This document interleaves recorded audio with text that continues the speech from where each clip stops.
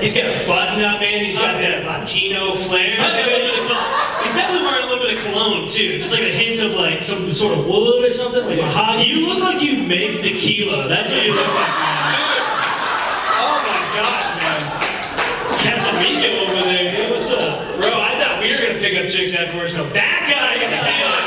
Mr. Steal Your Girl over there, man. He's got a touch of gray in there too in that beard. Experienced, okay? Not like us. And I bet he's got just a hint of an accent too, like my name is Antonio. I think I'm wet. Okay.